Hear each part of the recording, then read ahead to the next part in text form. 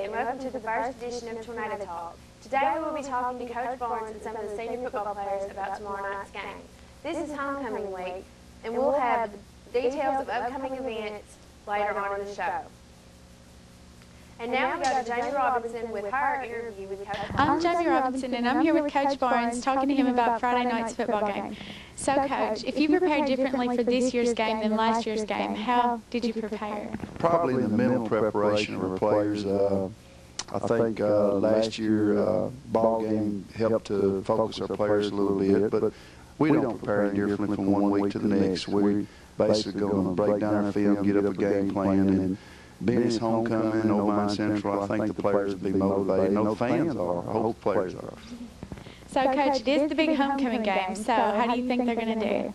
Well, if I knew that, I could already know the outcomes. We have to play them on the field. I know it's uh, homecoming is a lot of fun for the uh, for the students and for the alumni and people associated, but the bottom line for a football team is they got to be prepared to play. And a lot of times that's distracting, but most times we play pretty well at homecoming. I think uh, it's been a lot of student activities this week, a lot of homecoming floats decorated, the parade. I had a good week of practice, so we're excited about it. Uh, we're in a pretty good position in our region. Uh, had a good win last week in our region, so this is one of those fun games, and I think it'll be a lot of fun for everybody associated tonight. Thank you, Coach. Earlier this week, Ross Clark talked to some of the senior football players. Let's see what they had to say about the game. Hi, I'm Ross Clark, and here I am with three of Union City High School's finest senior football players. First, we have Michael Thomas, also known as Boogaloo. Boogaloo, how do you feel about tomorrow night's game in light of last year's upset? Well, we're going to pay them back for what they did to us last year, messing up our number one ranking and uh, killing our undefeated season. Right. Goodrich, Matt Goodrich here. Speaking of number one rankings, how do you feel about the way the press has been rating y'all and the number one rankings y'all have? Well, I think to me personally and the team, um, it really doesn't matter that much because the way they set it up, the number one ranking really doesn't mean a whole lot this early in the season. Um, coaches, you know, try to keep us in shape and, you know, working hard during practice, not getting our heads too big, and, you know, hopefully we can work it out and just, you know, stay number one the rest of the season and hopefully end up number one at the end. Right. Sean, you know, y'all been working real hard. I've been driving by and seeing y'all out there all hours. Explain what y'all do and how y'all do go about y'all's practices. Uh, it all started back in July with two days. We worked hard all day from 8 in the morning until about 4 at night, just running through plays, walking through plays. And then we've been practicing until about 6.30 every night, running through the same plays, trying to get everything right, making no mental mistakes. Right. Well, I hope you have a great football season. And back to you, Brittany. This is homecoming week, and tomorrow is Purple and Go Day, so make sure you wear your purple and go. The homecoming parade starts at 2.30 tomorrow, so make sure you come out and see your class floats. The homecoming festivities start at 7 o'clock tomorrow night at the ball game. The crowning of the homecoming queen will be announced at that time. Thank you for joining us for the first edition of Tornado Talk.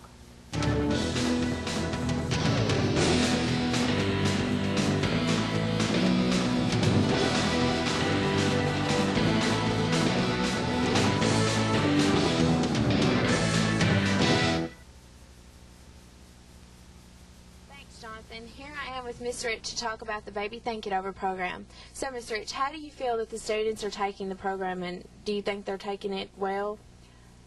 I think they're taking it very well. I think they're being serious with it. I think they're learning a lot from it. Some of them were really excited to get the babies, but maybe 24 hours later, they've changed their mind just a little bit. When you get sleep deprived, you look at things a little bit differently. How do you feel that? Do you think these babies are um, more realistic than last year's? Well, for the past three or four years, five years maybe, we've had what's called Baby Think It Over. This is called Real Baby Think It Over.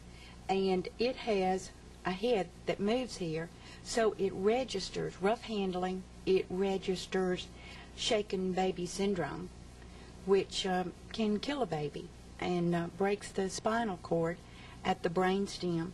Um, this baby is also a lot more sophisticated with its bottle. It makes sucking sounds. It burps. It coos. It gets fussy. It needs to be rocked. It has four different needs, and then there are three other things that you can do to abuse the baby. And when it's turned in, it we have a printout, It tells you exactly, even how many times you took more than a minute changing the diaper, and that's neglect. So, um, and it has this little diaper that you have to change.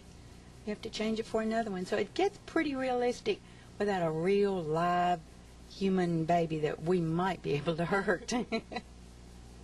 How do you feel? Um, what's your main purpose for this this program and teaching the students? Just to see how important a responsibility of an infant is to make children take their actions with the consequences that go with it.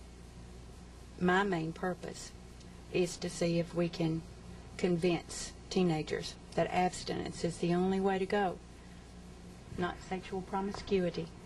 Thank you, Mr. Rich. Sorry. Let's hear from Brittany Billingsley about our new doors.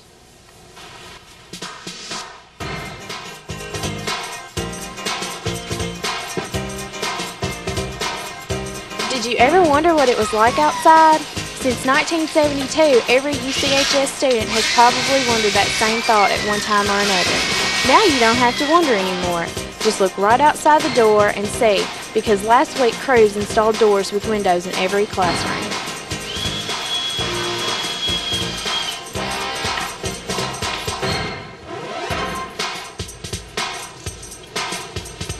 I'm here with Mr. Roger Harris, Supervisor of Maintenance. So, Mr. Roger, why did Union City decide to get these new doors? Well, our, the doors that we have on our uh, school at that time were 28 years old, and they weren't hadn't been abused. They were just worn out, completely worn out. And we had to get new doors, and, and this is the the best door on the market right now. Do you think that these doors will be a positive change for Union City High School? Yes, I definitely do. Uh, two or three positives. One is the uh, full glass light in them, and the hardware that's used on them. The hardware is guaranteed for life on it. Thank you, Mr. Roger. So, Dallas, how do you like the new doors? I like the new doors. I think they'll let us see what's going on outside. Let us see how the how the outside days look. They'll give us a better day. Here with Tony Brown and Taurus North. So, how do y'all feel about the doors? I like them because you can see out of them. That's about it. Ah, oh, they all right. Thanks, guys. Let's go to Ross, who's talking to Coach